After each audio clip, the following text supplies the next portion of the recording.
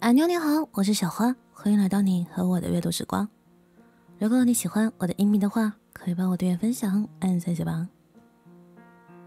今天和大家分享的文章名字叫《越是优秀的人，越懂得尊重别人》，作者明星君。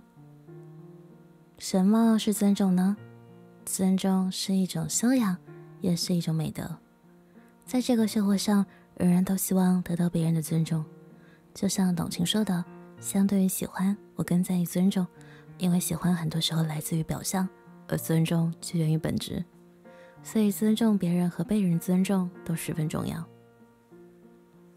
鲁迅说：“我以为别人尊重我是因为我很优秀，后来才明白，别人尊重我是因为别人很优秀。”深以为然。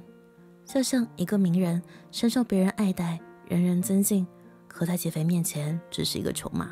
不当人看，所以别人尊重你，不是因为你优秀，也不是因为想讨好你，而是因为别人更优秀。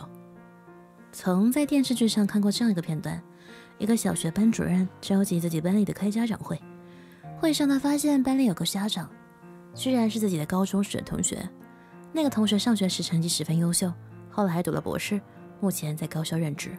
散会后，那个博士同学对他十分敬重，和他沟通自家孩子的学习。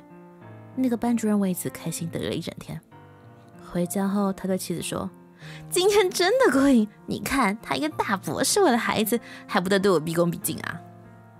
妻子摇摇头说：“你以为他是讨好你这个班主任吗？别人尊重你，那是别人懂做人，并不是你有多厉害。”那个班主任听后羞愧不已。很多时候，别人尊重你，不是怕你，也不是讨好你，只是他们的习惯而已。就像《礼记》中说。君子贵人而贱己，先人而后己。越是优秀的人，越懂得如何去尊重别人。他们的德行优秀，不管在相处还是共事中，都懂得会为他人着想，以礼待人，实是他们为人处事的准则。当别人尊重你时，无需得意，以尊重回应他。如此，别人优秀了，你也会优秀。要问尊重的最高境界是什么呢？我想应该是在上不傲人，在下不卑人。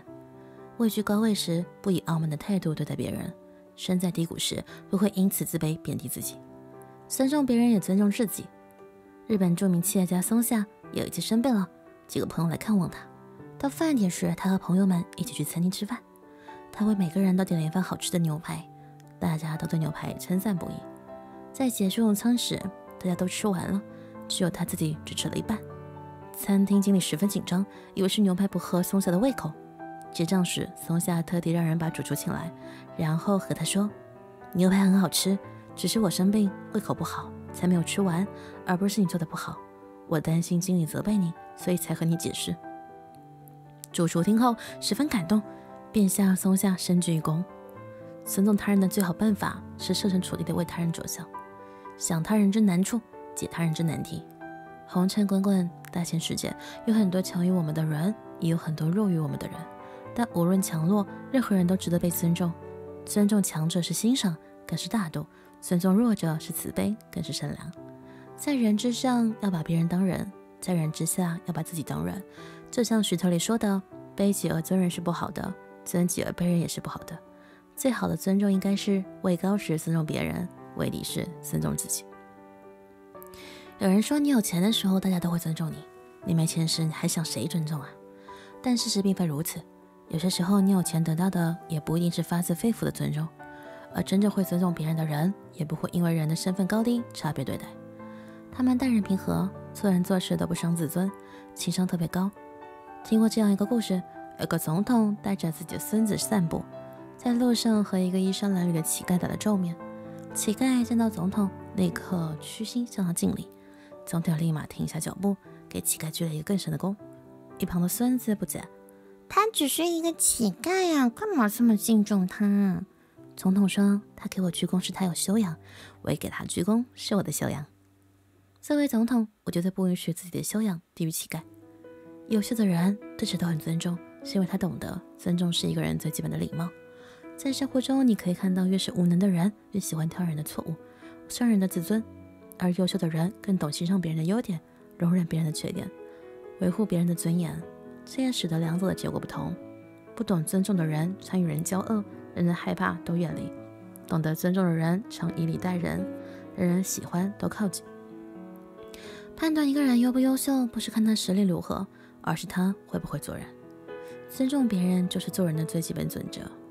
太宰治说：“如果你想让对方尊重自己，自己当然先要尊重对方。人与人之间是对等的，只有你尊重别人，别人才会尊重你。在人生道路上，会有很多人给予你尊重，但那些尊重并非是有你多优秀，而是别人优秀才会尊重你。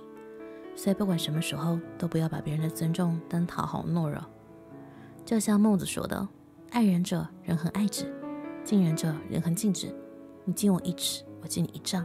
你对我尊重，是你优秀；我对你尊重，是我优秀。在这个社会上，优秀的人才会收获好运和别人的喜欢。”我是一个非常非常非常非常非常非常超级对尊重跟礼貌非常纠结的人。就像我会对每一个帮助过我的人说谢谢。哪怕是我妈帮我倒了一杯水，哪怕是外送员送到我家，我一定会说谢谢辛苦了。因为没有一个人都不值得被尊重，每一个人都应该被尊重。嗯，在我拍过的很多影片当中，其实会有很多观众留言。嗯，大部分的观众大家都是非常有礼貌，跟很有自己的见地跟尊重的部分，但是还是会有很小部分的观众，然后留言非常的不客气，然后讲的不是很好听。嗯，我的个性就是你用什么态度跟我讲话。我就用什么态度跟你讲话？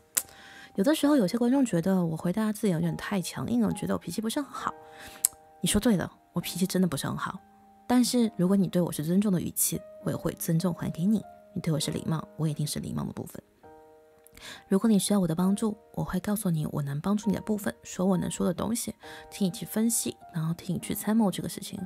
可是有的时候，有些人。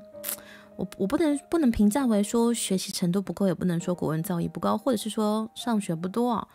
嗯，每个人的学习环境跟成长环境不一样，就造就你说话的方式。其实有一本书叫有一个杂志，好多好多年，我其实没有看过，但是我对它印象非常深刻。我们也没有经过报刊的时候，就是有看到这本书，其实我都会瞟两眼，但我从来没有翻开过。这是一个很有意思的事情哦。这本杂志叫《演讲与口才》。你知道会说话的人会更容易完成很多想完成的事情，跟达到自己想要达成的目的。